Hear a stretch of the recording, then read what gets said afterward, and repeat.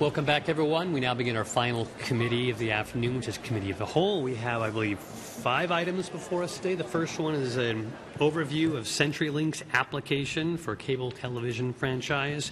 Many people know uh, CenturyLink for their internet services. This is a cable television franchise we're talking about.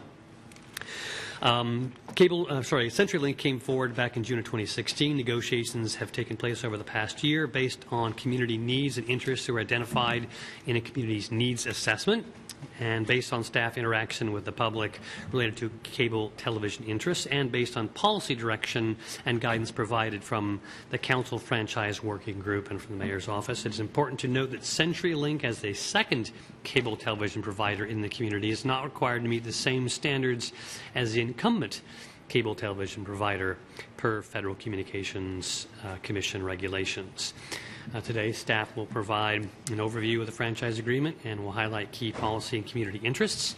CenturyLink representatives are here and will be present to answer any council questions. If you have any, a vote is requested following a public hearing tonight. So this evening, we will have a public hearing on this same issue. This afternoon's a briefing, but no vote is expected right now. Um, our IT director, Ms. Marty Mulholland, is here. Good afternoon, Council. I'd also like to introduce James Erb, who's a senior attorney and the other half of the staff team working on this project. I'll also take a moment to introduce the representatives from CenturyLink. Mr. Tori Summers is there. He is with the Franchising and Legal Affairs uh, part of CenturyLink. We also have David Namura. David is the Director of local, State and Local Government Affairs and we also have Mr. Brian Hershey, who's a locally based employee. He's a supervisor of regional operations. So um, we'll also introduce our council working group. Um, April Barker and Gene Knutson met with us um, during the course of this project. so um, just briefly, we'll walk through some franchise basics, the, the process we used to develop the agreement, and highlight the key elements of interest in the proposed agreement. James will present the impacts related to municipal code, and then we'll uh, wrap up and take your questions. So what is a franchise agreement? It is a contract between the city and a cable television operator. And like most contracts, it has terms and conditions uh, based on their potential use of our city right of way to provide these cable television services. There are also financial obligations, which we'll highlight in a subsequent slide. These agreements contain some provisions that are of interest to the community, such as uh, customer service, uh, discount programs, closed captioning and reporting. Um, the cable operators are often in these agreements required to make channels available for non commercial programming. So we call those PEG channels, and PEG stands for Public Education and Government Access television. Again, that's non-commercial programming. And I think the council is well aware we have one such channel in our community, which is BTV Bellingham, which we, the city, operate. And it is a full PEG channel. So uh, we provide the public access programming on Sunday nights and the education and government access programming the remainder of the week. The agreement also includes technical specifications and enforce, enforcement provisions. And uh, some language that we may use here uh, does refer to Comcast as the city's incumbent provider.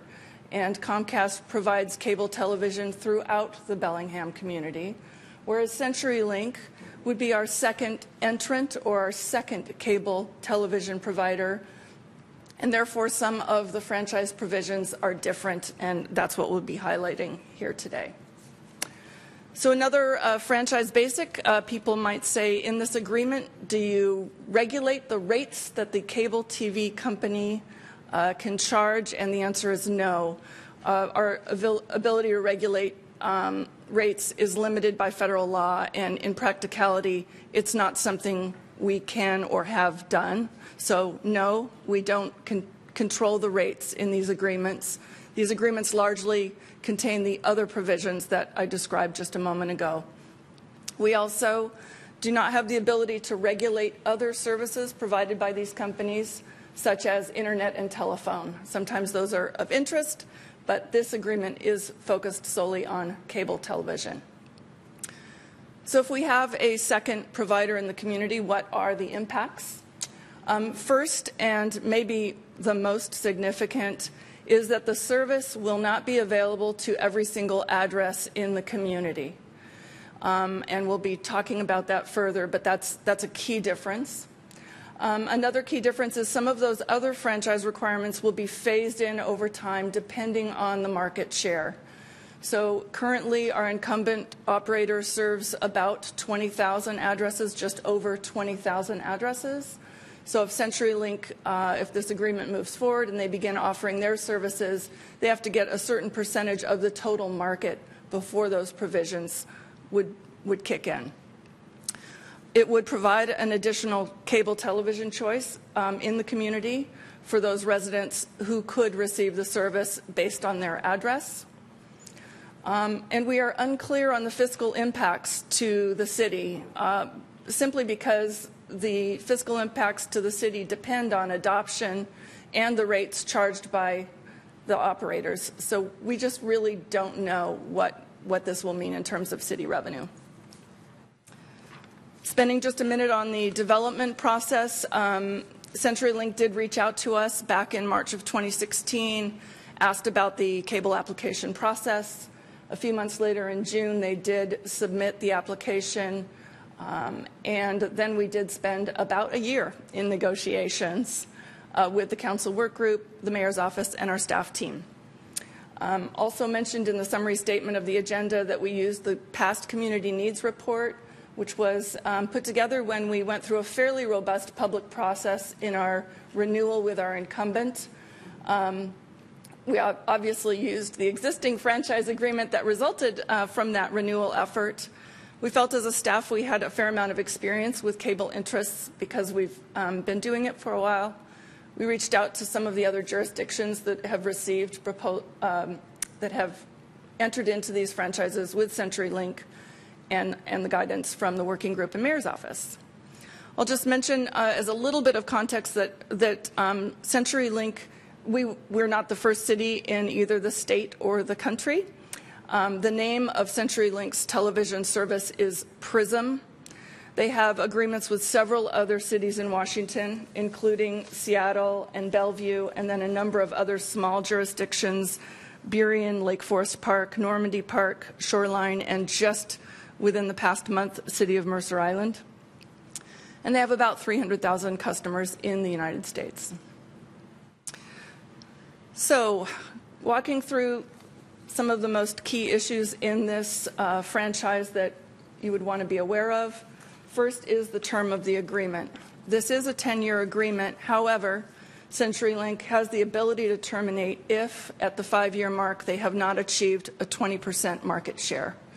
Our incumbent agreement is a 10 year agreement.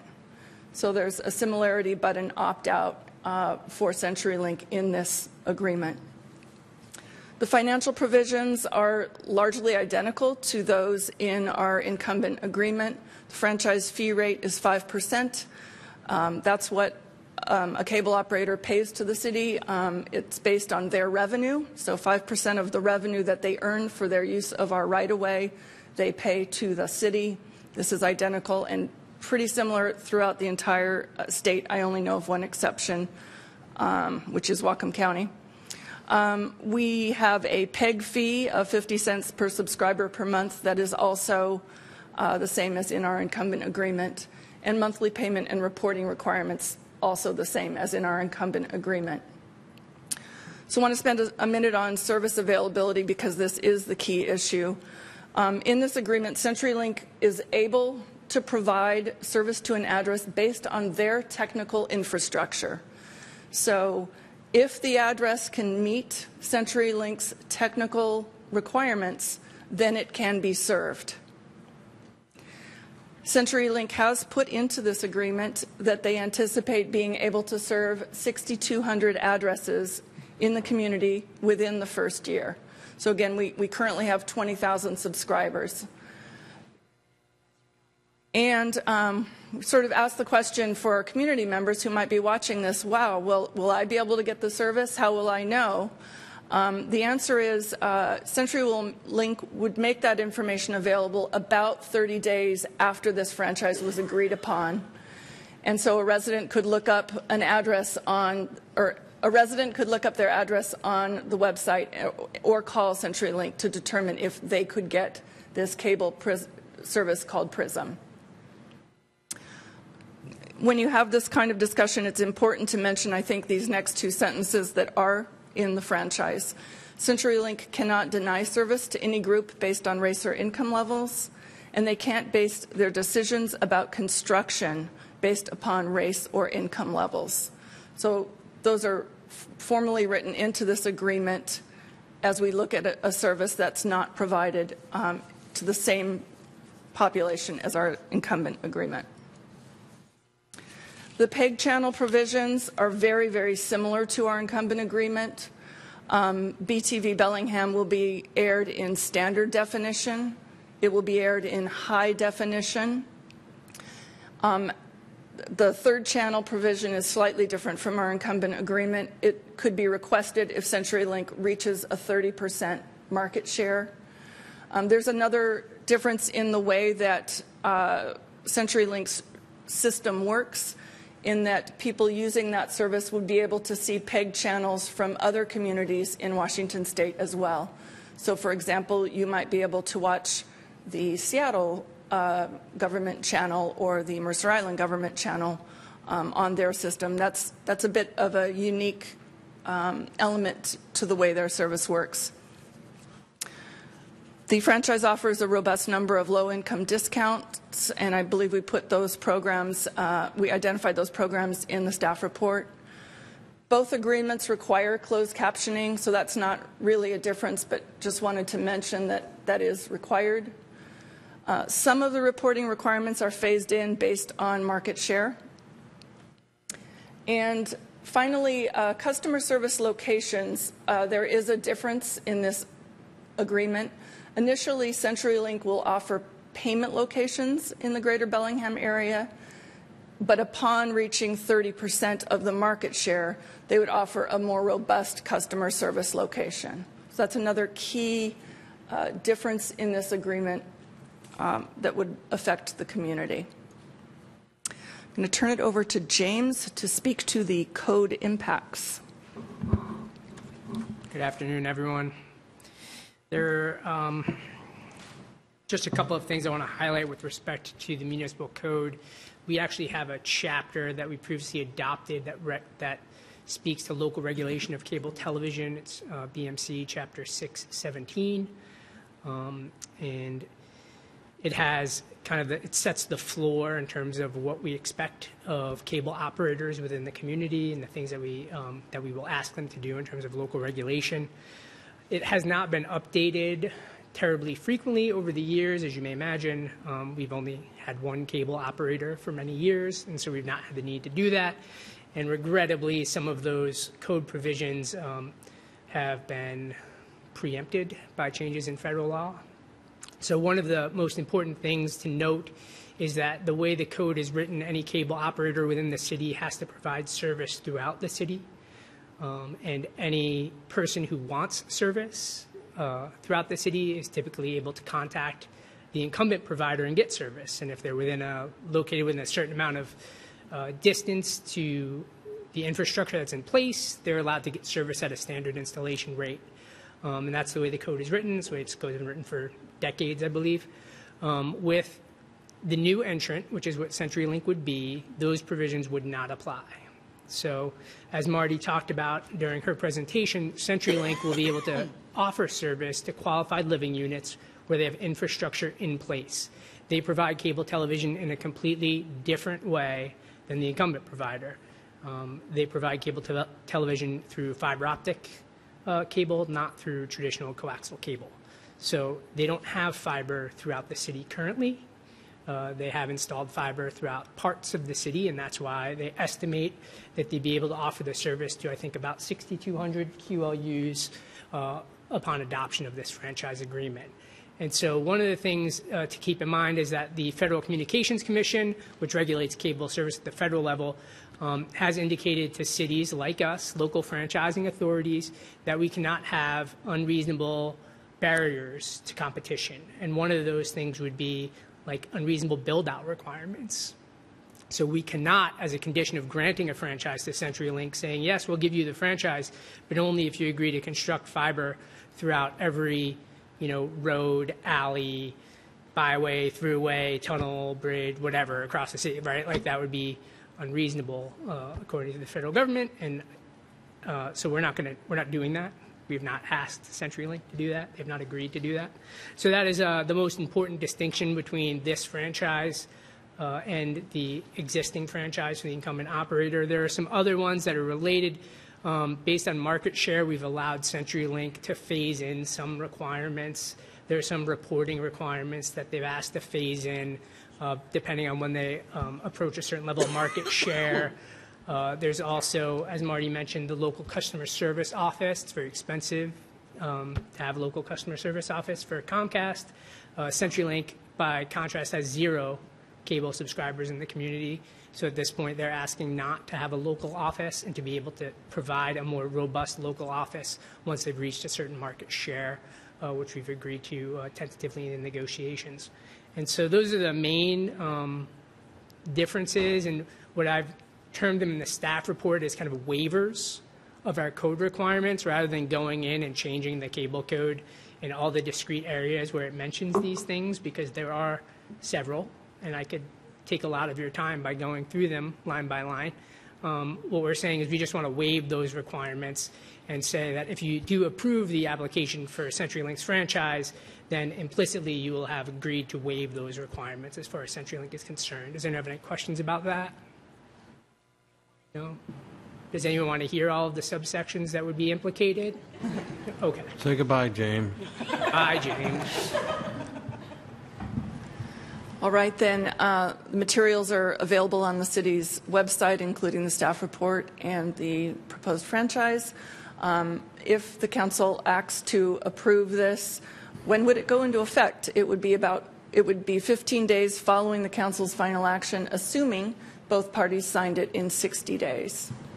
So with that, I'll uh, turn it over to the council for questions and discussion, and the representatives from CenturyLink are also available to answer your questions. Okay, bring it back to the council. Dan Hammill? I'm trying to understand how the, um, um, the northern part of Bellingham would be served or not served by this company, um, how it would work in terms of infrastructure in the ground or not in the ground. Um, I don't know if there's anyone that can answer that question.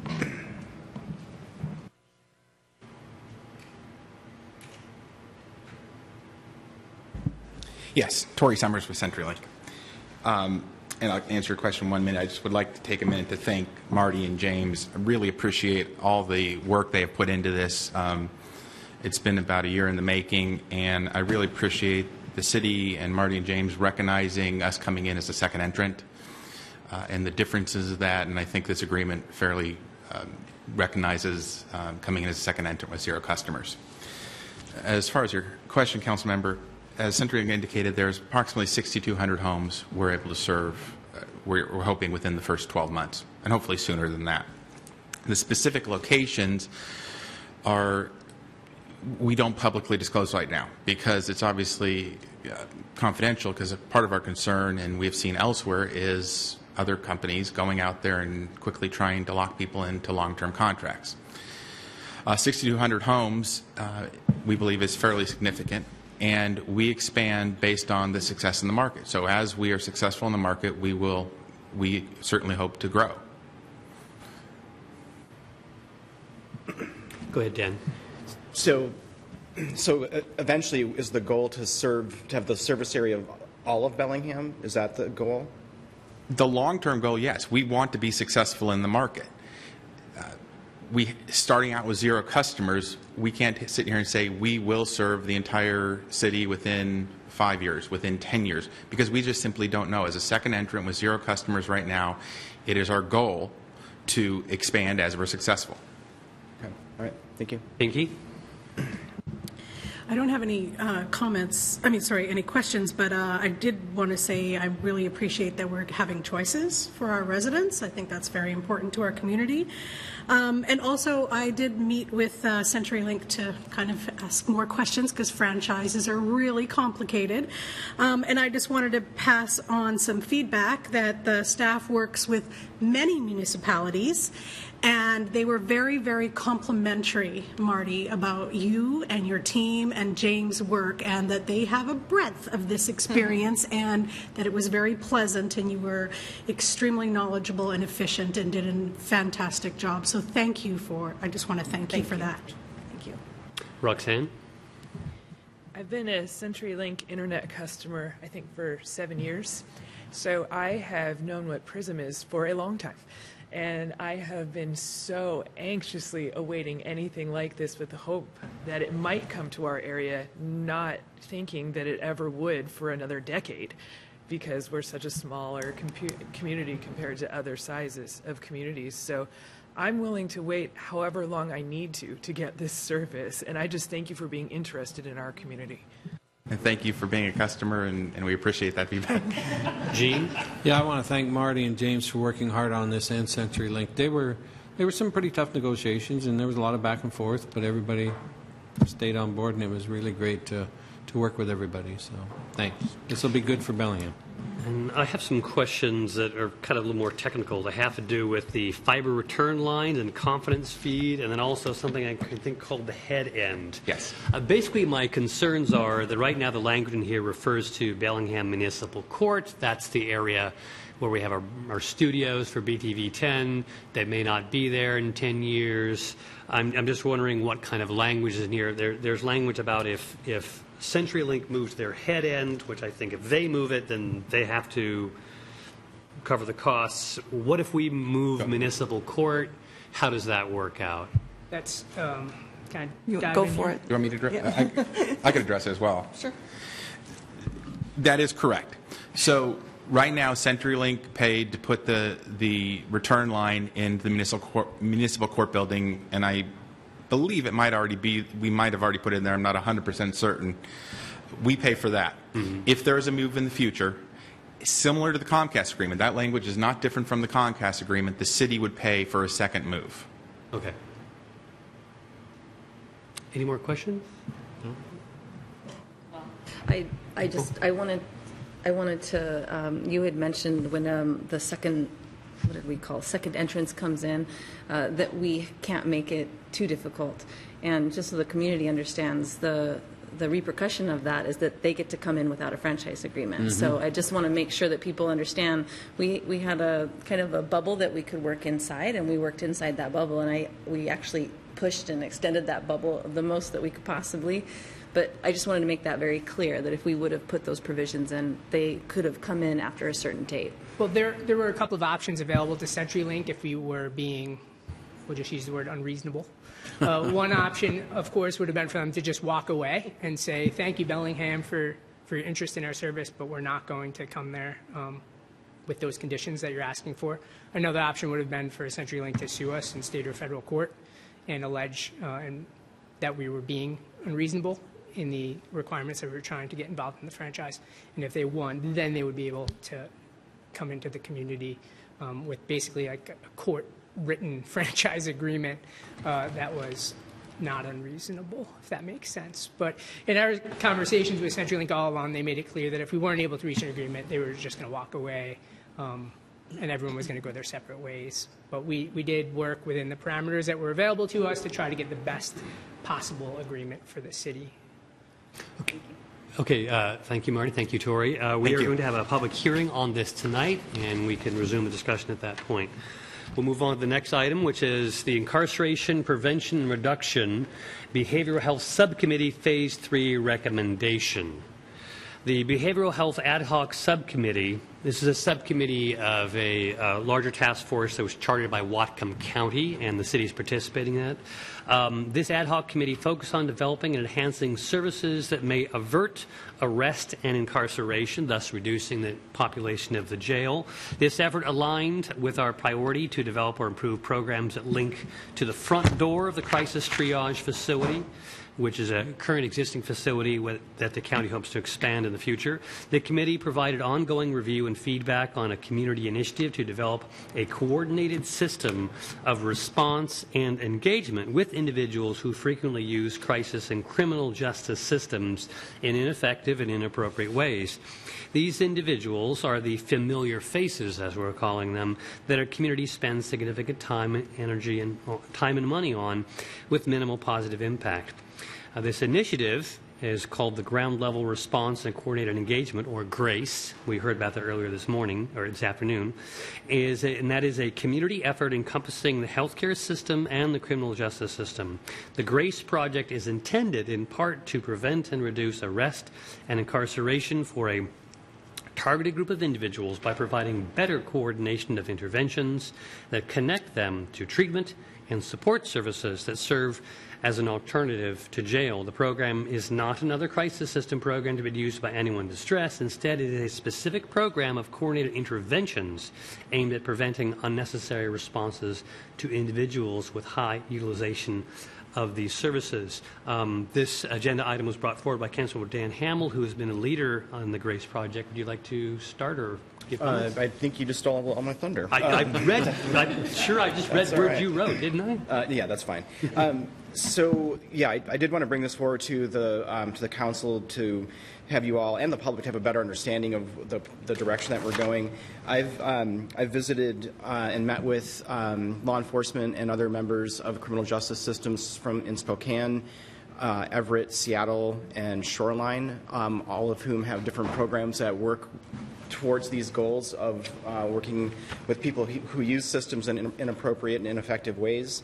Um, the model, GRACE, uh, closely resembles Everett's CHART uh, program, Chronic High Utilizer Alternate Response Team. Um, so I've been working with a team of individuals, uh, including Tara Sundin and Mark Gardner, um, Ann Deacon from Whatcom County Health Department, Carol Gibson and Dean White from uh, uh, Whatcom Alliance on, uh, for Healthcare Ad- Advancement, and Greg Winter from the Opportunity Council, and Chris Phillips from PeaceHealth St. Joseph Medical Center. I've asked Ann Deacon and Dean White to come today to um, give us a presentation, talk to the council about uh, where we're at, where we're going, and to answer any questions council might have.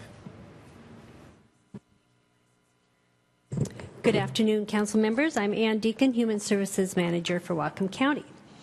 And um, very briefly, uh, Whatcom County has many, and I mean the entire community, has many, many different programs to address um, prevention and reduction of incarceration, reduction of unnecessary or inappropriate visits to the hospital, police encounters, etc. And um, we have spent and do spend millions of dollars in this effort now and have some great outcomes. However, what we've also noticed is that there's a certain uh, group of people that do not respond well to any of these programs that we have offered right now. And these are typically people with very complex issues, both behavioral health as well as medical issues. Um, often uh, high criminogenic thinking and behavior that needs to be addressed in addition to treatment services in order to be um, successfully stable and um, positive folks in our community. And so, as part of our planning in terms of how do we really address this population well, we understood that we needed a really comprehensive approach that involved a team of professionals as well as community members. Uh, you've all heard the saying, it takes a village to raise a child.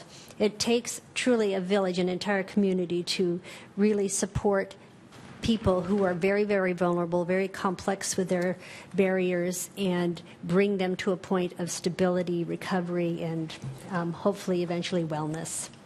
So, um, because uh, I chair the Behavioral Health Ad Hoc Committee of the Incarceration Prevention and Reduction Task Force, and Dan Hammill is my new uh, co chair.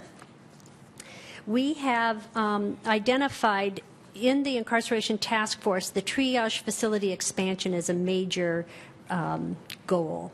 And so, what the Behavioral Health Ad Hoc Committee decided was let us focus our initial efforts on both the front door and the back door to triage facility. And what that means really is is there a way to get people into the triage facility as opposed to into the jails or emergency departments or constant um, calls um, by the paramedics? And um, can we, once they've been in the triage facility, stabilized, can we also discharge them into the community with some coordinated planning and care? Obviously, to include supportive housing programs. So, GRACE, um, ground level response and coordinated engagement, was really created to ensure that we address the front door. However, some of these people will go in and out of our triage facility and will also be part of that backdoor service. So, that was our reason for beginning this effort. We knew that we had to do it with a group of folks, and so, as Council Member Hammill um, identified, we had a great planning committee that put together um, two community forums. And the effort in those community forums was to bring that village together and get them all to not only understand what we were trying to do, give us input on the best way to accomplish this, and then to commit to being part of the solution. Again, um, we must have all partners fully engaged. So, what is grace? Um, it is, and I hopefully you've got the map. So, the first thing we did in the community forum is uh, hire a graphic facilitator. What we wanted, it, besides just a little bit of fun, because this is really, really hard work and sometimes um, depressing because people can be so ill, is that, oh, I'm sorry. We're going to go ahead and put it on the overhead so the uh, Okay. audience can see it. Yes, that technology is beyond me, that's for sure. So our effort was really twofold. One, to have a product that every single stakeholder could take home with them, take to their offices, um, post on their office walls. Um, I'm willing to laminate it for anyone who needs a placemat. This is really an effort to have this widely distributed because we really wanted everyone to have um, a, a product to help with cohesion as well as commitment to this process. And then, um, as we had these community forums, we had two. The first one, we had um, over 65 people, uh, community partners that had the authority to commit on behalf of their organizations, who had the authority to um, commit resources as well as um, efforts. And um, we took the information, did the needs assessment, did a brief overview of what we knew was um, components of a, a successful system, which is in your packet. And then three weeks later, we reconvened this group. Again, um, everyone showed, and we said, all right, here's the product based on your information, based on our research, uh, and here's our vision for moving forward. We asked for feedback in terms of, okay, what have we missed? What, what, do we need to address and add to this? And then how shall we move forward? Uh, we asked for commitment before people left. Who was willing? Uh, the COO of our hospital was the very first to jump up and say, I commit. And then we had everyone thereafter. Mayor Kelly was there, Chief Cook was there, uh, county representatives, uh, treatment providers, hospital, paramedics, uh, many police uh, chiefs throughout, including tribal police officers or tribal chiefs. So, with that, um, our hope is that through uh, significant work, we're going to develop this system. And if you look at the very back, if I turn this over, will that work?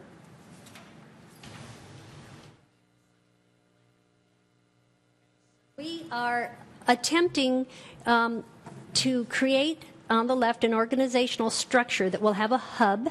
And as that map showed you, it's a hub and spoke model. The hub will have a program manager and um, most importantly, software system that allows people to communicate. And those people would be the folks that are on each team. And each individual identified, and there will be a process for identifying these people who utilize frequently these crisis systems that um, usually they use them in ways that are ineffective and unhelpful, inappropriate, that each team will be identified relative to each member that's identified as a participant. Um, the team will create an intervention plan that will be a dynamic plan that can be added to on an ongoing basis and communicated through a software system that everyone on the team has access to. And then on a 24 7 basis, um, people will have access to that intervention plan.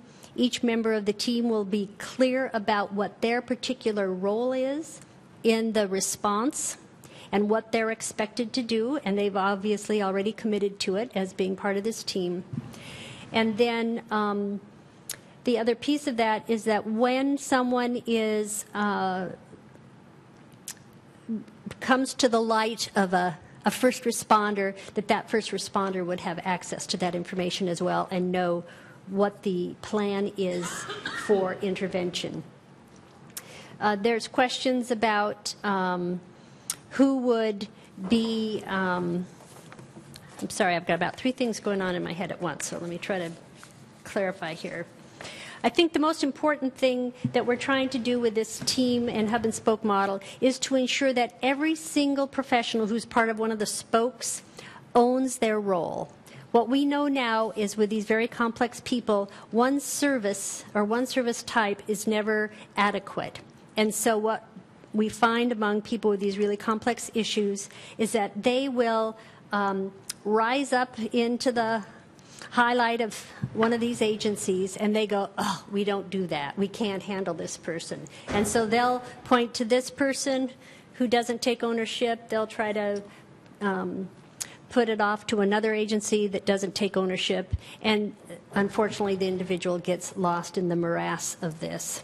So this process, the coordinated response aspect, is really to ensure that there is ownership among the people on the team. Everyone owns the individual's progress and health and is committed to it. So, um, how are we going to do that? We at the county uh, offered to hire a special projects manager to get this started. And obviously, we um, are in the process of securing funding for some of these efforts. And with that said, I'll stop talking a minute and introduce Dean White, our Special Projects Manager, who is also part of our planning team. And I'll let him tell you about our next steps in our timeline.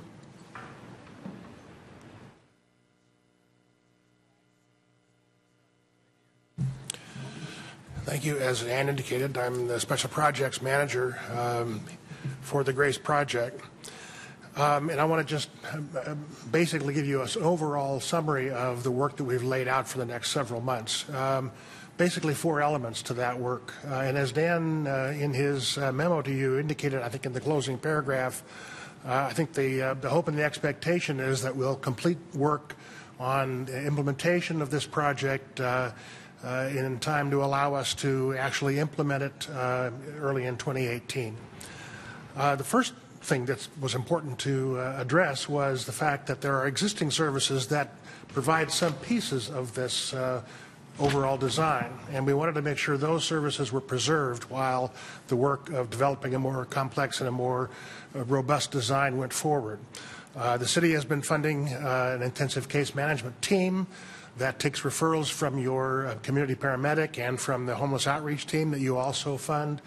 Um, and um, that team has been um, uh, employed by the Whatcom Alliance for Health Advancement.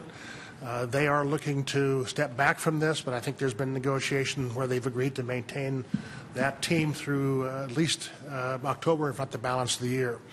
Uh, and so we we have accomplished um, that task in part uh, made possible because the county agreed to uh, contribute some additional funds to make that team uh, whole and keep the existing level of service, and that, I think, is in process. Um, The second area really is to begin to pull together the two, two teams that are identified in the chart uh, that you have, the leadership team for the Grace Project and a program team. Um, and we're basically building those two teams from the list of participants in the two community forums. Uh, we've identified different members of uh, those uh, forums uh, who seem like uh, uh, reasonable candidates for one or the other of those two teams. The leadership team primarily focused on issues of policy around the program and how it would operate. Uh, and the program team uh, focused really on how to operationalize the services in such a way that they're effective, particularly uh, conforming to the list of uh, design principles that were also outlined in, in uh, Councilmember Hammill's uh, memo to you. Um, and so that's sort of the second area of work is to get the work groups together to begin to flesh out uh, this program. The third area, uh, as Ann alluded to, has to do with uh, securing future funding for the program.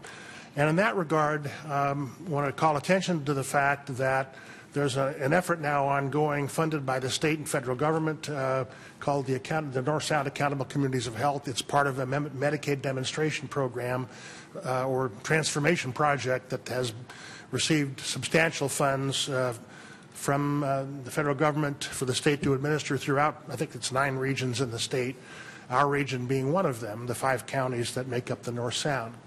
Um, and it happens that what we're proposing in the GRACE project aligns fairly well with the objectives uh, of that demonstration, that Medicaid transformation project.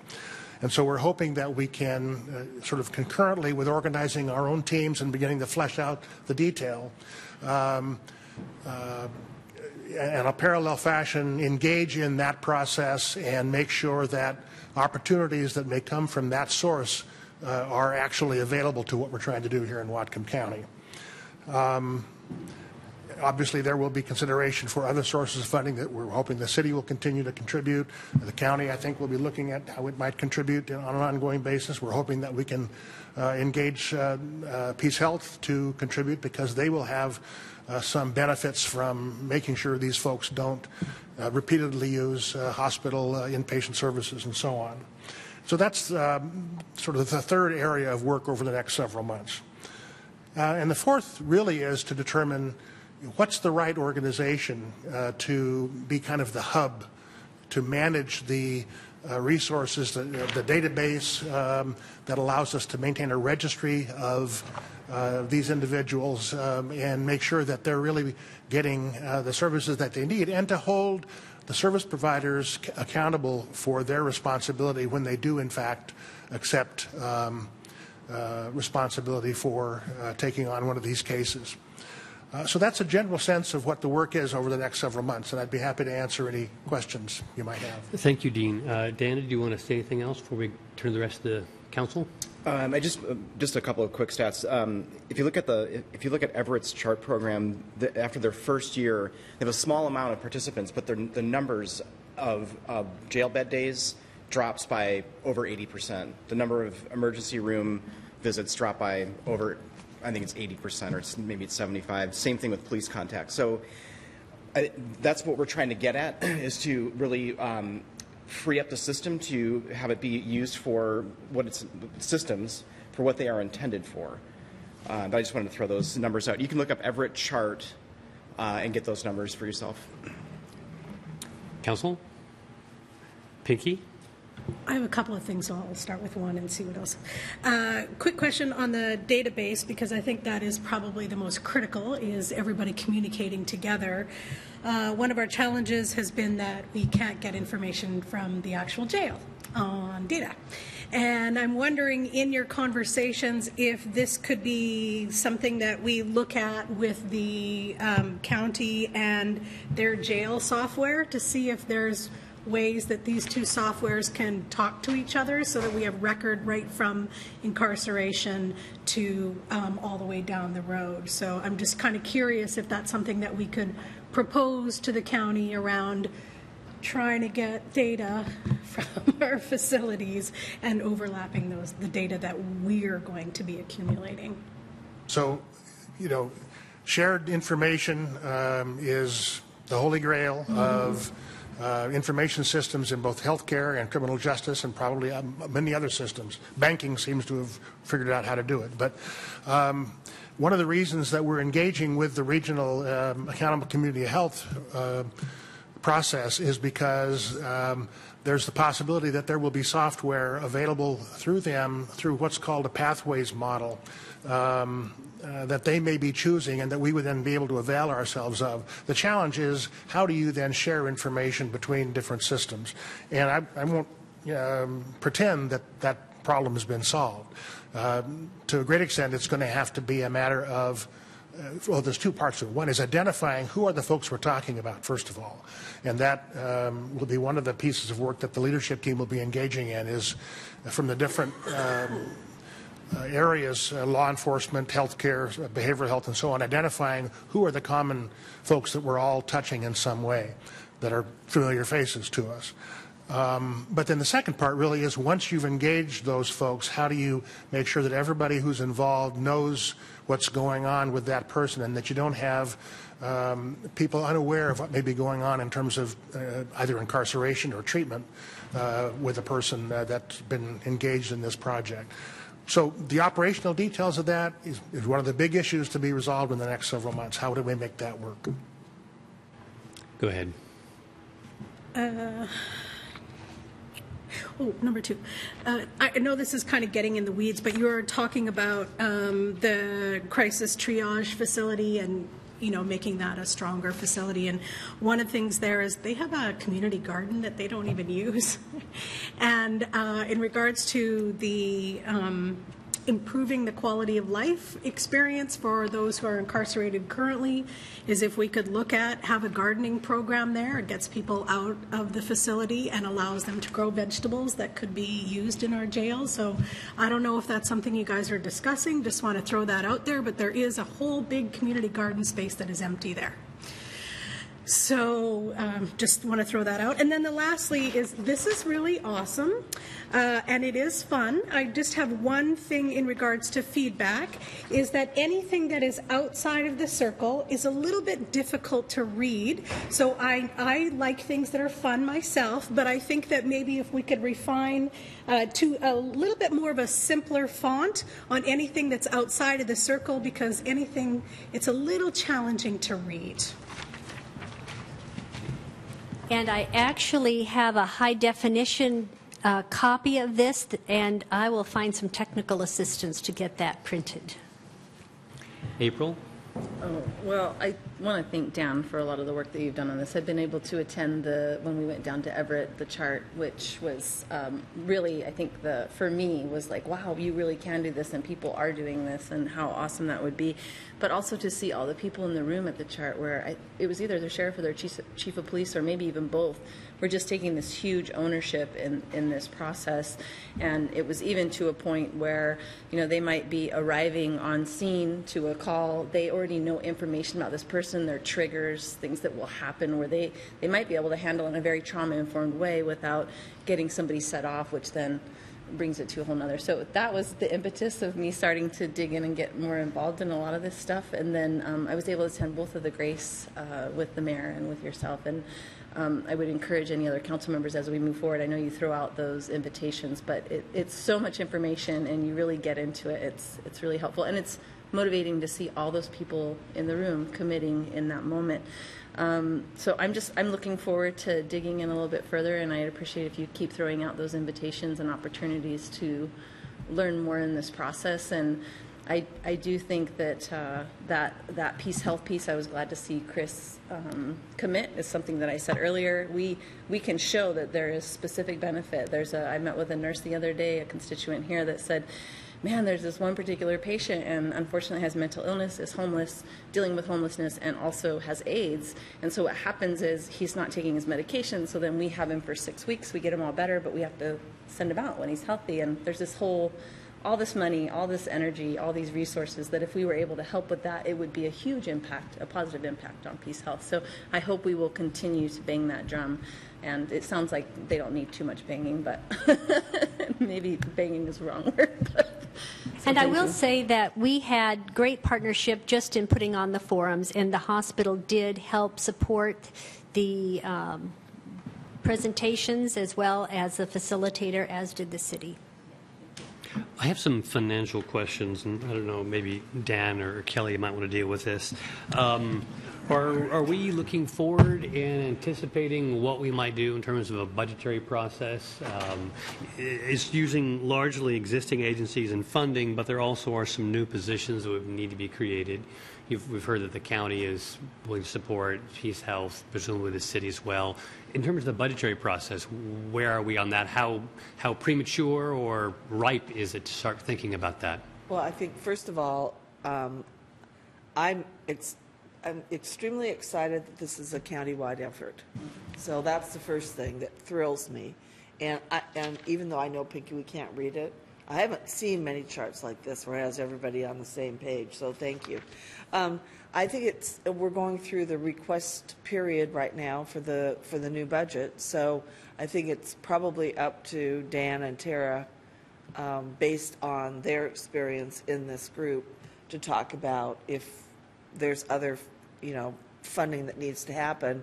But I think with the addition of what the, the county and the hospital may be willing to do, we, we do put a, a significant investment in the programs that we're doing now. And I think we just need to evaluate where the gaps are um, when everybody else is making those same commitments. But I'd like it to be based on recommendations about outcomes and services and not just put more money into it. Because I think that we also have to be smart about the money we invest. Um, just the community paramedic program, uh, you know, presentation we had today was very clear that sometimes a lower cost way to do something, you get a better, you get a better result. So. I think that's exactly my point, but with community paramedics and with the numbers that Dan cited, is that it's there's so much savings just financially by spending, you know, in this forward engaged fashion. So it's morally better the thing to do, ethically, professionally, but it's also financially. So I just want to make sure that we don't respond too slowly. We've got some time until the next budget year. This pro, this Well, I mean, proposal's not yet finished. I just want us to be ready, kind of in sequence. Well, I think right now, we're going to be asking our, our department heads for their, and, and you also, for ideas you have. This is midterm budget adjustment. I'm not thinking that we're going to be changing our, our biennial budget by a whole lot.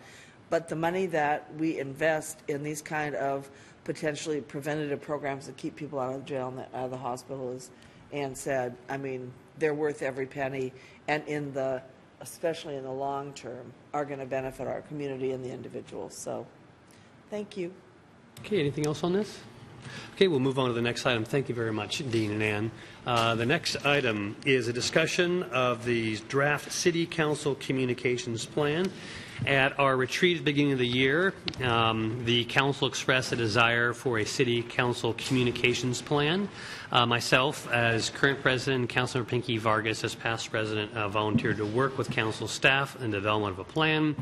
A draft of that is presented today in the, uh, in your packet for consideration. Uh, This is a time for discussion, uh, identification of um, elements in the plan you think are appropriate, or maybe elements maybe are missing. I don't know, Pinky, if you want to say anything um, about the process or your, I just wouldn't mind highlighting a couple of things. Okay.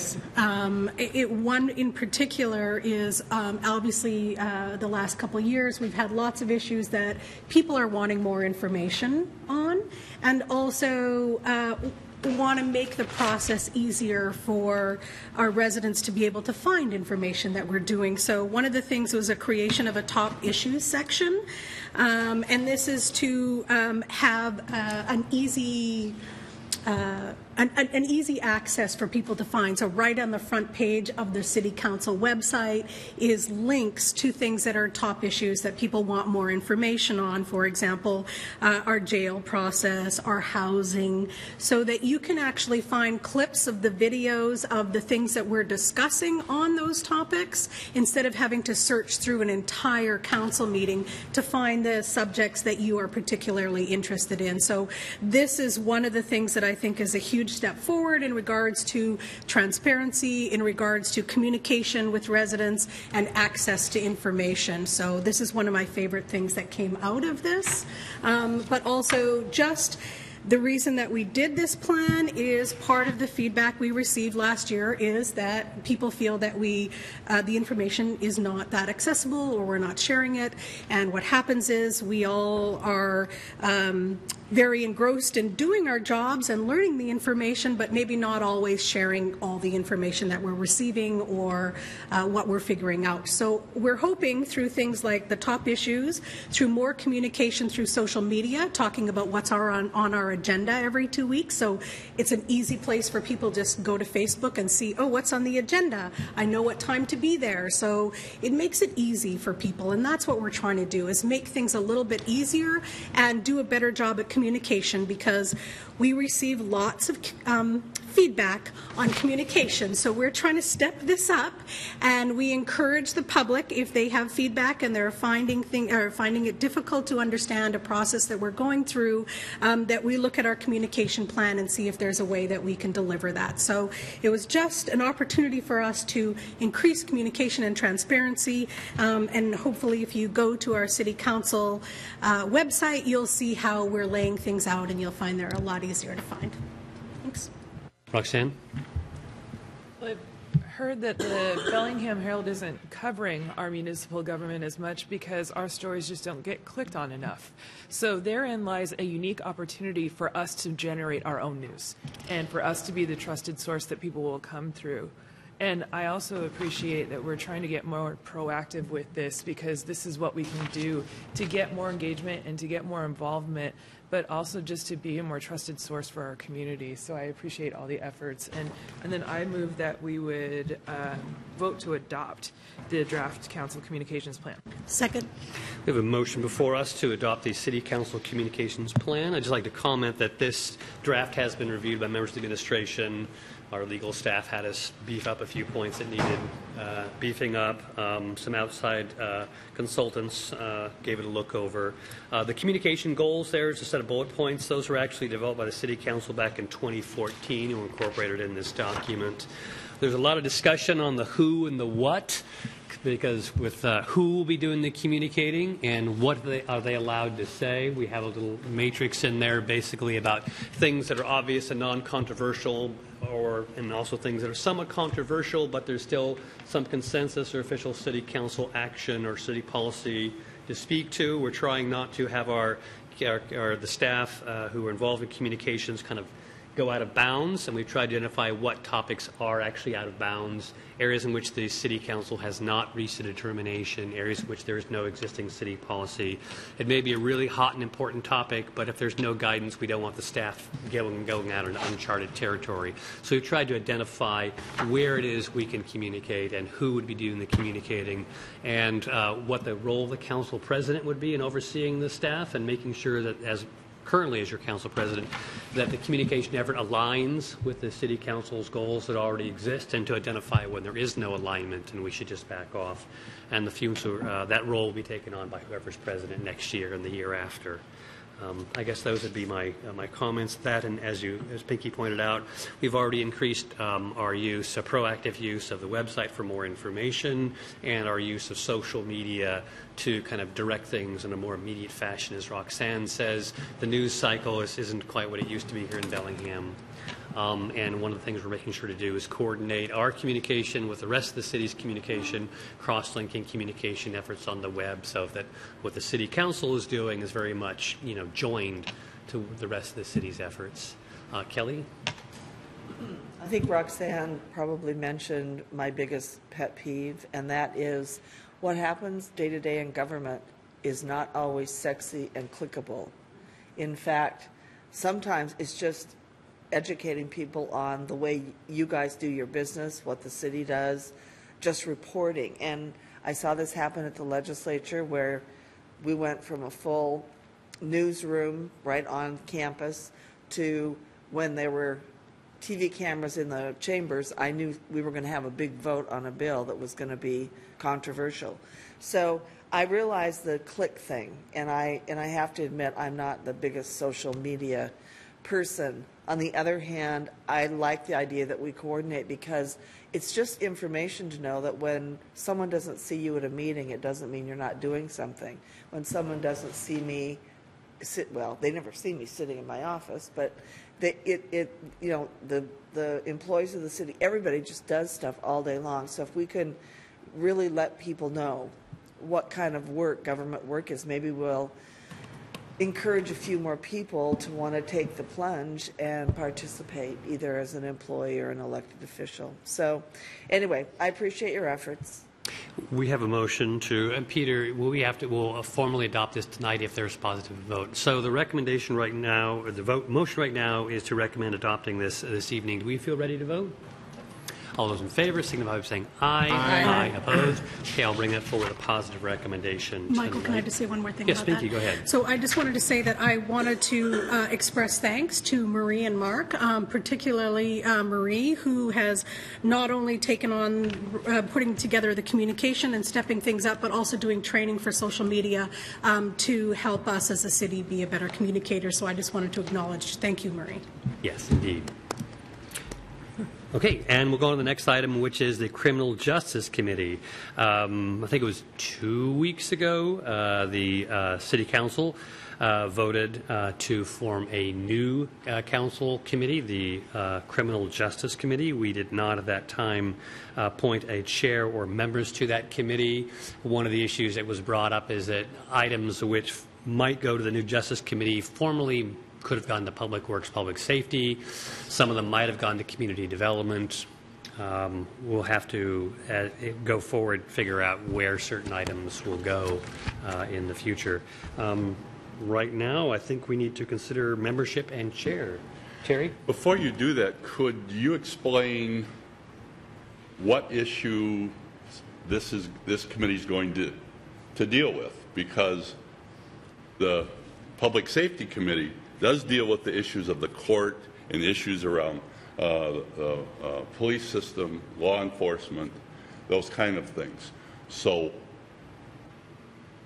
I, you know, what, what specifically, because I realize this was brought forward uh, for a specific reason, and evidently there are specific issues that uh, certain council members want to bring forward and lead that hadn't been brought forward to our committees at all. So I'd like, to- before we vote on what it is, uh, membership, I'd like to know exactly what this committee is going to be considering, because I'm, I'm not clear of how, what's, it's going to be that doesn't fall within our existing system.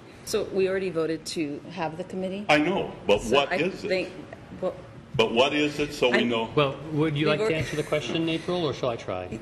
You're welcome to try. I just, So- we're not here to debate if we're Yeah. going to have the committee or not. So No, I don't, I- especially somebody that We was so understand concerned our, our about time committees as they earlier. divide up our workload into what we hope are reasonable mm. bins.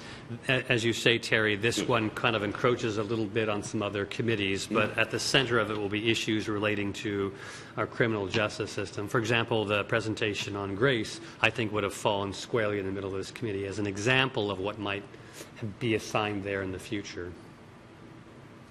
Okay, but just, yeah, just so we, you know, we're not getting, our committee is not getting pushed out, because that, it feels like, when this was done, it was, we didn't want to go to this committee, and that's what it feels like, so I need, you know, Chair, may I?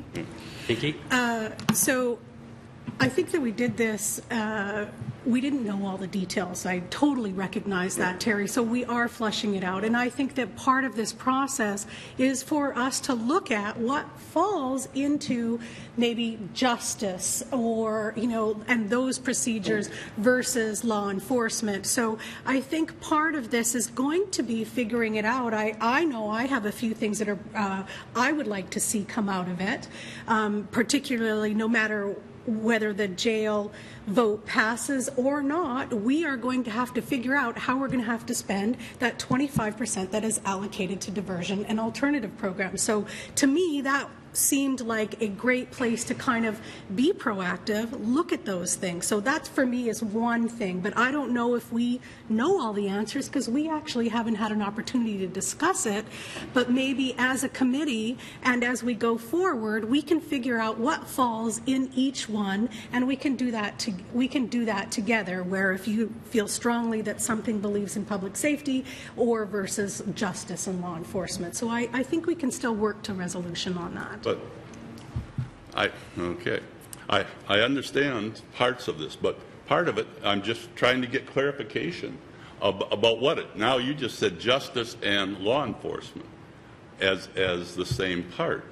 And so it's trying to, I, I I think believe I'm, I I'm said just trying to get a justice, clarification about what law we're voting on. enforcement, which is, I'm kind of going, one's over here, one's over there. I'm not trying to But uh, uh, bring I'm up whether it's appropriate, because Right. Four people voted that it was, but I'm just wanting to know, because there was, it was clearly decided by a couple people that they wanted this, so there must have been specific issues, and so that's all I was asking. Well, as council president, what I I think I will try to do is if, if, if new agenda items come up that fall squarely within the Justice Committee, we'll just assign them and I'll just do that on my own. If there are some of these that, I, that are kind of border cases, this is a new committee, I think I would maybe consult um, with maybe the chairs of those two committees, Good. figure out where we'd go as kind of a learning process. And if we continue with this committee, hopefully it'll become more and more predictable in the future, and there'll be fewer and fewer judgment calls. Does that seem acceptable? Kelly? Yeah, just some technical things. So, of course, staff, Right. s- staff staffs committees, and you guys have a lot of committees, and they don't always meet. So, um, a- if this committee begins now, great. If we're moving forward, though, it might behoove the council to look at all their committees and, and make sure that the rel, the relevant committees are broad enough so that you don't need more than, I guess, however many, six of, six committees? Yeah, we have adjusted our committees in the past. We've had more than six in the past. We've had committees come and go depending on workload. Um, this is an adjustment we're trying out. April? Yeah, I think this is a great precursor to us moving into our reorganization at the beginning of the year. We know that there's this element of criminal justice and this other arm of, of, of like our judges and, and that whole other part that is um, not never, not unless there's I guess not overseen by the mayor. It's over judge is part of her thing, and she she tells Darlene what to do, and that's a, a whole nother place of communication for us. So I think one, um, this committee is going to be a lot of education. So far, I, I know a lot of people have been involved in all the conversations around uh, criminal justice and, and judicial reform and all of those things, but we've really left it mostly on Dan's shoulders. He's been going to every single one of these meetings. He's been processing all of this information, and then you know we get the culmination of this event. But like planning, we have three people that three council members that we really hope and trust that they're going and diving into those issues and they're becoming little mini experts and they're going to tell us what they think and then we'll ask our questions. So just like that, we need that within this system. Whether this passes or not, the jail tax or the public safety tax, we need to figure out what is going on what do we understand? And then when, when budget comes, it's not just the first time we've ever seen Judge Lev, and she's telling us the state of the court. So a lot of this committee will be a lot of education, much like our planning committees have been lately. So most likely, when staff is coming forward with something, I'm, it'll probably end up going into your public safety committee, unless we specifically are asking for something. And as far as staff, and staff time, I'm sure staff will want to be involved and, and join the process. However, I asked Judge Lev if, if she'd be willing to let us have some of Darlene's time if she had to come over and present. And then I also asked Mark if he had the time to do that, and they both felt that that would be appropriate. So, And just to make it really clear, Darlene participates in our department head Yes. meetings. Mm-hmm. Darlene's part of our criminal justice team. No, we don't direct Judge Lev.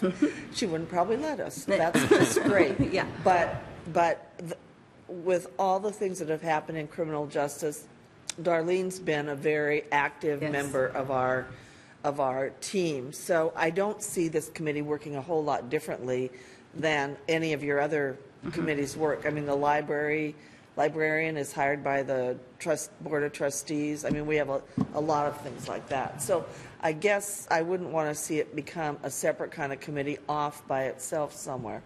Um, so I just was just checking on the workload that you guys all have and whether or not I, I'm happy to hear that there might be an analysis of your, what, you know, what exactly the, the point of the committee is, so Michael knows where to assign the bills, and also some discussion later on about all your committees and, you know, do they work? And I, I, I don't know if, Terry, of criminal justice, or um, public safety and public works, is that a, tr- is that, because I'm asking because I'm new, if that's a traditional, is that the way it's just traditional. Yeah, traditionally that's the been? way it was brought up Yep. years ago. Yeah, it, it is. It's been that way for, as Yeah. long as I've been on the council, It's as long- been that probably way as for- long yeah. as Gene has been on the council.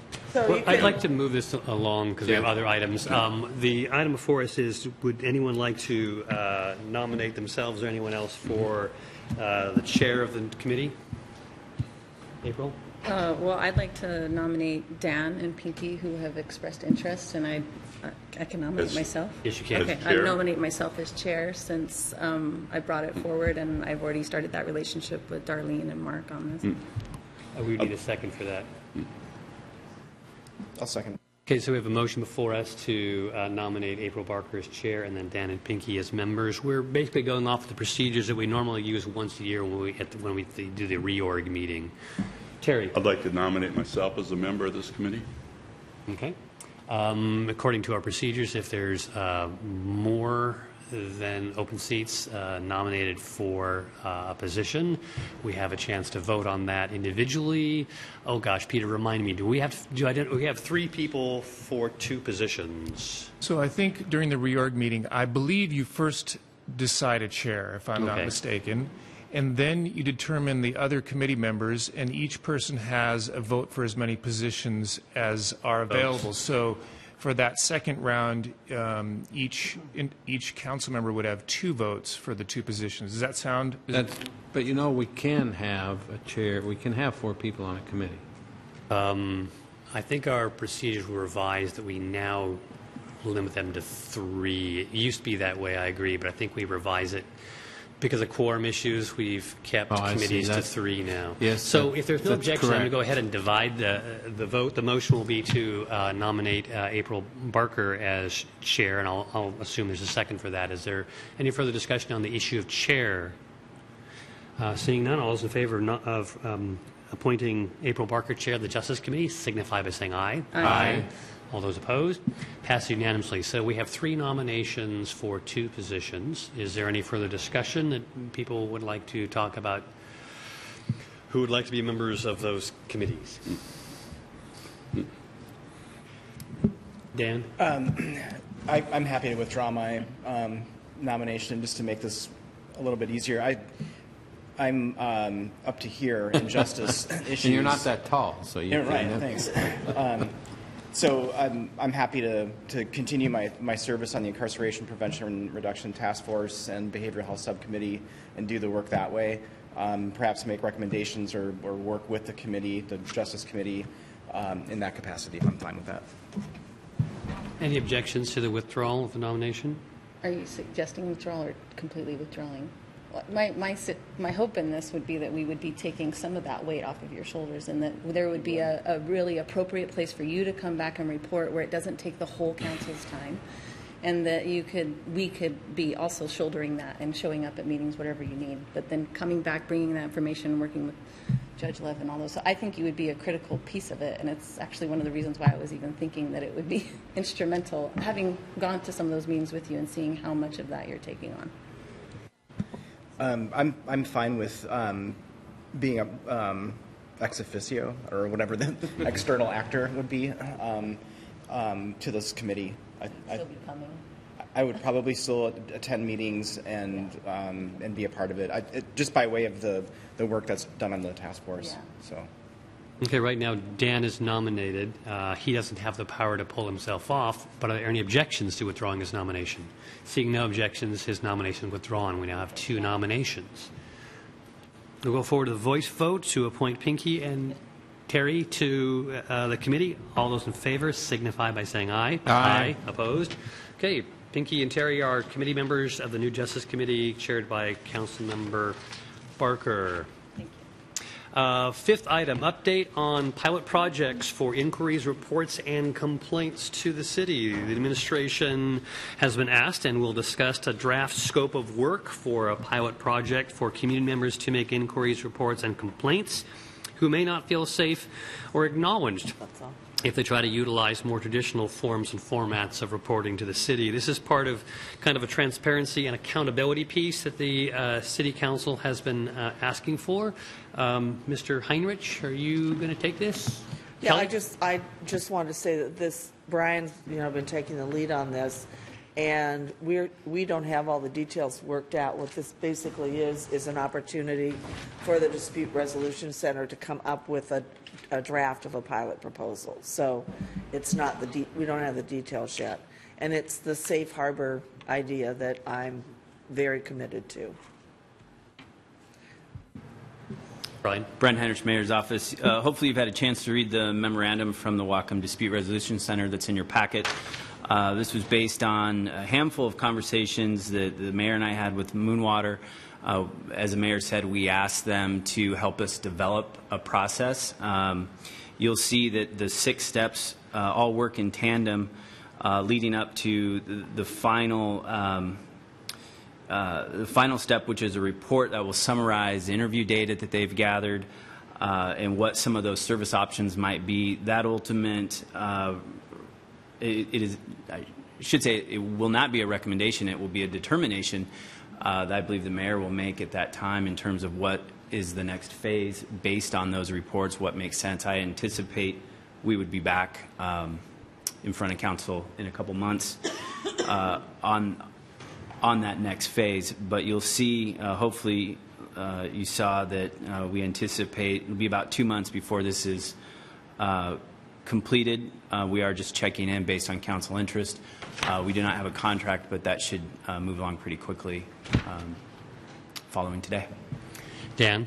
Does, um, question on the last paragraph on page 108 of the packet.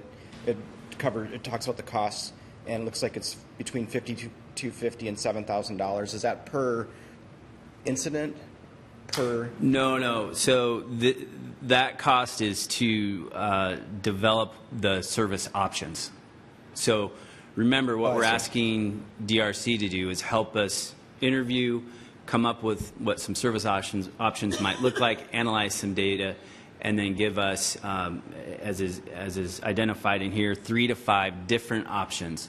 So it's not per incident. In fact, uh, I want to be clear: we are not working with DRC to be the service provider. We're, we're working with them to help us develop those options. And we're, and we're just paying for it out of the mayor's office. So we've covered the cost. Dan? is there is there a current operating um, law and justice civilian commission that works? And maybe Chief Cook's here. I don't know who the appropriate person to ask. Well, the, the chief has his advisory committee that, that he runs. But I don't think we have something um, separate that's a governmental entity. Do you, I don't think so. So the origin of this, in, part, had to do with uh, sometimes uh, some of our public employees may misbehave, and the public should be able to complain about that misbehavior.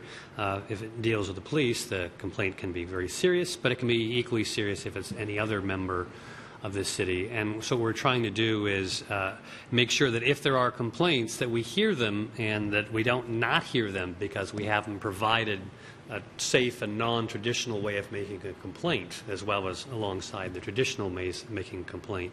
Um, I believe that the, what the administration is considering is we, we have already in place established mechanisms of um, disciplining city employees, and this wouldn't replace those existing disciplinary mechanisms, but it might provide an alternative way for those to be triggered so that someone who might need to be held accountable would be held accountable. Is that a fair summary? And, and for me, um, Brian has a comment too. For me, it's more the incidences of, of when we might need to use this may not be often because obviously most people come and raise their complaint with a department head or a council member or myself or whoever. Um, and I think that one of the issues for Moonwater was also making sure that we've narrowed the scope. So this isn't about, I don't like my electric bill and somebody was rude to me. This has nothing to do with that. It was more as a result of other conversations we were having. Um, so we were talking about, and this will come out, is not making it just police. That was very clear. I, I was not in favor of that. But also not making it any complaint that possibly could come up in the city. Um, so it was more just a safe place for people who may, w- maybe were concerned about discrimination or something that was something a, a little more um, involved or and it could be with any department it doesn't have to just be um, obviously not just with police or fire or, or anything like that but these are what this is what uh, moonwater said she'd like to have some opportunity to work through because it would be a, a very large um, endeavor to create a separate agency where you know where all complaints you know would be funneled. So it gives us a chance to talk about it. We don't have to decide that today. So there'll be options, but Brian, I covered it. He said. Dan, you had your hand up? Um, but I guess my concern was having a, um, a method or a, you call it safe harbor, um, in terms of how a person, if they felt discriminated against, for example, that, that's kind of, that would be my threshold. It's not the, the electric bill that I, No. I don't want to pay or think is too high. It's more about if a, any city employee, parks or whatever the, I don't mean to pick on parks, but and whatever the, the department is, is that there's an avenue or a channel for that person to come forward in a, in, in a way that they felt safe and there weren't, there wouldn't be um, any kind of, um, I don't know what's the right word, recrimination or any kind of, um, Repercussions or anything. yeah. Um, And I think that's what I was saying, is it, it, it's, yeah, it's more on a discrimination, something like that. But also, people also don't have to go there. So it isn't like, this is the, this is how you make that complaint. This is, if they feel comfortable talking to me, or they feel comfortable talking to one of you, and you pass that on to me, then we can deal with it internally too. It's not all an external kind of thing. And that's why um, I, I think it's important to have.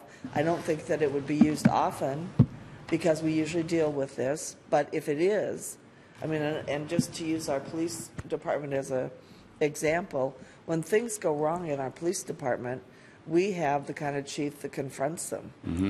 Um, and so I guess it would be, you know, for that, those ca- unusual cases where that didn't happen. But we're going to hear from Moonwater what she thinks. Terry? I would still like to solve most things internally if we can, but when we can't, people need a safe place to go. Terry? Yeah, I really like that idea of that this is a limited kind of scope with it for those, because we have heard that some people may be uh, afraid to come forward to bring it forward to in an official, to somebody in an official capacity.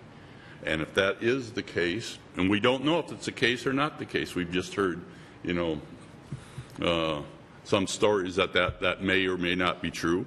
But if it is, then this would be the kind of thing for it, because I, I do think we have processes generally to deal with most of the problems, you know. This- I know I've had a number of people at different times over the years, they've got a problem, they bring it forward, we try to resolve it through whatever. I know the mayor's office has, the police chief, whatever. We've been able to do that for, but if there are people that are concerned about talking to someone, then they should have an option, and if we can develop that option, if Moonwater can help us develop that option, and I think it's a good idea to have someone like dispute resolution, because then no one can point the finger and say, see, you're just setting this up, you know, uh, to protect yourself or do whatever, you know. So I think this is a, a good way to do it, and to limit the scope, I think is a really good idea. So this is for information only. I think we've done two good clarifications. One, uh, when this has come back, it- I think it'll be important to highlight the, the current disciplinary mechanisms that are already in place, and to indicate this is for cases of discrimination or maybe violations of civil rights or serious misconduct when the person doesn't feel safe using the existing means of reporting uh, to initiate, you know, investigation and possible disciplinary action. We were thinking it would be limited to high-level kinds of incidences. Okay, any further discussion on this? Okay, I believe that is the last of our scheduled items, and now we need to find the next piece of paper. Minutes for approval. We have a rather large set of minutes from July 10th. Move approval. Second. We have a motion for us to approve the minutes for July 10th committee, committee meetings. Were there any changes or corrections needed? All those in favor of approval signify by saying aye. Aye. Opposed? Okay, items that are old and new business. I will start off with a brief announcement that the city council offices will actually be closed in a few days, uh, July 27th through 31st. Staff will be out on well-deserved vacations, and no one will be in the office for those, that brief period. Where period. am I going to come and hang out? Um, you can still email us. I can get in. I can. I'll man it. Any other items for old and new? Dan? I wanted to thank the mayor um, and council members Vargas and Barker, uh, county council member uh, Brown, um, school board director uh, Bashaw, who, full disclosure, she's my wife, uh, for, for, uh, to, for volunteering alongside 175 other volunteers at Project Homeless Connect on Friday. We served 515 people. It's down 5% from the previous year. Um, we did see an, a rise in unsheltered um, individuals that, were, that attended and received services at the event, but uh, overall, I'd say it was quite successful, and uh, we helped a lot of folks that day. So I just want to acknowledge those volunteers. Thank you. Thank you. April? So we, I had brought up a new and old business after we had our planning committee last time on rental barriers and concerns to have the Opportunity Council come and present to us at an evening meeting on their master leasing program as one of our other prongs of getting people to understand they can participate in the master leasing program. My understanding from Michael is that if it's longer than 15 minutes, we need to get approval full council in the evening meeting. And so Adrian was thinking she, because of the real lull in having veterans housing as well and some of the complexities with that, she wanted to highlight that um, in that opportunity of talking to us and the public. So thinking it will be over 15 minutes, possibly 2025. So I, before we scheduled it, I just wanted to make sure that it was okay with council. It So it would be like a presentation at an evening meeting, right? Yeah, it's Yeah, longer that's than fine. any traditional presentation. I wanted to make sure that there was no problem Yeah, scheduling no it. action will be taken. It's No, just no an action. informational. Yeah. Okay, Thank no you. objection. We'll go ahead and schedule that a little longer than usual. Okay. Pinky? Uh, Two quick things. One, I wanted to thank Councilmember Dan Hammill for his work on Project Homeless Connect. I thought it was a, uh, it's been stepped up every year, and I thought it operated incredibly smoothly, and it was a really fantastic day, so thank you for that.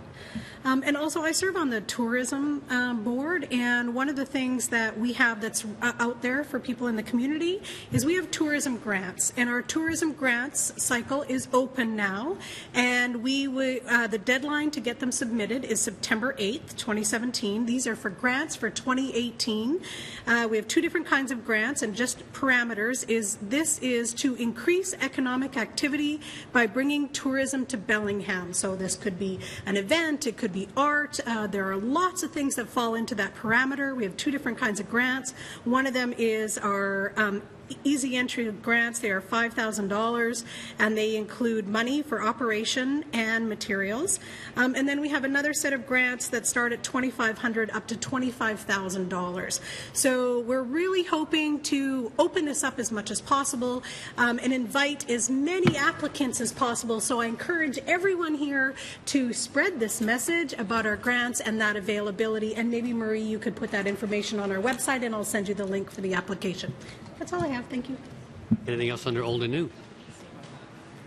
I'll, I'll make this very brief. I know we're running, we're we're way over. I just want co- council to um, know that I went to Smoky Point Behavioral Hospital grand opening. Uh, it was last week. Um, it's a 115 bed facility. We know that Pioneer Center North 141 bed facility is closing. This new facility is opening, and there's obviously that gap in between there. They do have an involuntary commitment um, ward, I guess. Um, but I did want just want to make sure that the council was aware of that resource. Uh, it will be available to Whatcom County and Bellingham residents. Okay, we'll now go to um, Peter. Executive so, in the interest of time, if it's the council's desire, we can postpone number four. I know there's an addition on the executive Okay, session. Okay, so we had originally four executive session items. We added a fifth. Are you saying that number four on there, we, c- it's a longer one, 20 minutes, we could postpone that item? So we still, we'll have four uh, executive session items. We're going to recess, and then I'll come back in approximately, let me do the math. I think I'll come back in 40 minutes from now. Yeah,